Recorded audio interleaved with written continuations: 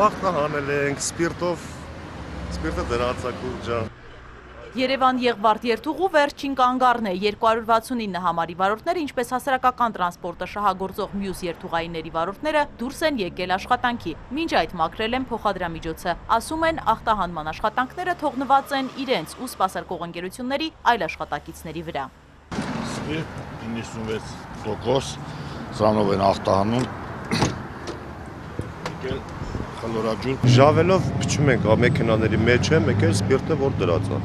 Օրական քանի անգամ պետք է այդպես ժավելով մաքրել։ 3 անգամ, 4 անգամ ռուշկեքով բանով լրիվ ախտահանել են։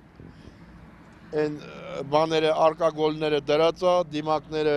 հակած են, ծերնոցներով է քշում են։ Լրիվ ամեն ինչ օրենքով, ինչ ասել են, այն էլ անում ենք։ Տրանսպորտը դեռ նախկին թափով չի աշխատում, օգտվողները քիչ են։ Դուրս են եկել աշխատանքի,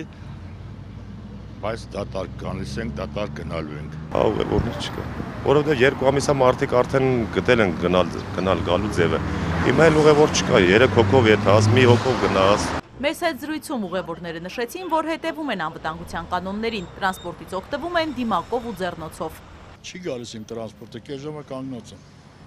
Դրամը դրել եմ գրպանս։ Էսա է։ Համոզված չէ որ անհրաժեշտ է։ Ուղղակի որ կարգադրում են, ուղղակի որ օրինազանց չլինեն։ Պահանջում են, անում ենք։ Թե fake է դա համաշխարհային, դա հետո པարս կլինի։ Գիտեք, որ ձեռնոցել պետքա դնեք։ Գիտեմ, գիտեմ, բայց մոռացել եմ վերցնել։ Դի հետևենք, որ մի փոքր բարելավ է ամեն ինչ։ Ես շաքարային դիաբետոն ունեմ, անպայման պետք է հետևեմ։ Բացի հետ էլ ապահովության համար պետք է էլի։ Գնացիք ձեռնոց առ, Այո, այո։ Հիմա օղի, վրայից էլ ալկոգել։ Այնպես որ տրանսպորտը ազատ էր, խնդիր չկար, բոլորը դիմակներով էին, ապրեն շատ լավ կազմակերպել էին։ Ես չզգացի, որ ախտահանված էր, բայց ոնց որ թե կեղտոտ չէր։ Սակայն կանոններին չհետևողներ էլ կան վարորդների խոսքով ուղևորների թվի հետ կապված սահմանափակումը դիմակ ձեռնոցների բացակայությունը արդեն վեճի առիթ է դարձել։ Իջացնում ենք, ասում է չունեմ։ Չունեմ, կամ դնում ա նստում ավտոբուս, ավտոբուսի մեջ հանում ա։